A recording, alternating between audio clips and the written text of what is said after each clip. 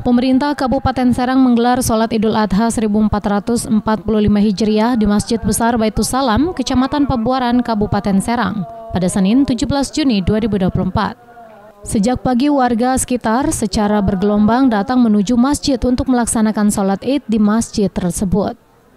Bupati Serang Ratu Tatu Hasanah bersama keluarga, Ketua DPRD Kabupaten Serang, serta para pejabat di lingkungan pemerintahan Kabupaten Serang juga terlihat mengikuti sholat id di masjid itu.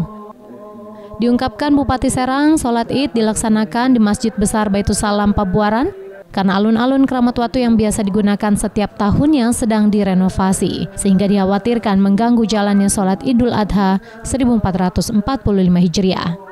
Pemda Kabupaten Serang kita bersama-sama memperingati Hari Raya Idul Adha tahun ini. Kami sholat di masjid besar di Kecamatan Pabuaran Alhamdulillah dari seluruh OPD kemudian dari BUMD juga dari beberapa perusahaan terkumpul hewan kurban yang didistribusikan ke masyarakat yaitu sebanyak 32 sapi, 2 kerbau dan 55 kambing.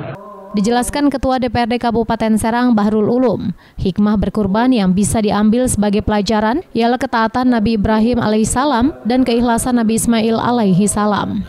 Hikmah uh, yang dapat kita ambil pelajaran dari Idul Adha adalah sebuah ketaatan Nabi Ibrahim alaihissalam dan sebuah keikhlasan dan kesabaran dari Nabi Allah Ismail alaihissalam.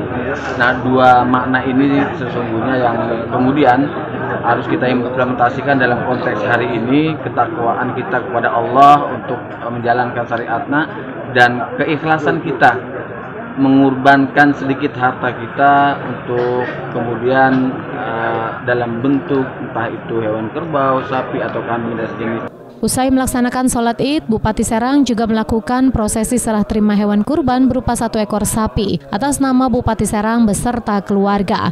Dan dilanjutkan dengan berziarah ke makam keluarga yang lokasinya tidak jauh dari masjid tersebut. Rio Angkara, jurnalis Banten TV dari Serang, memberitakan.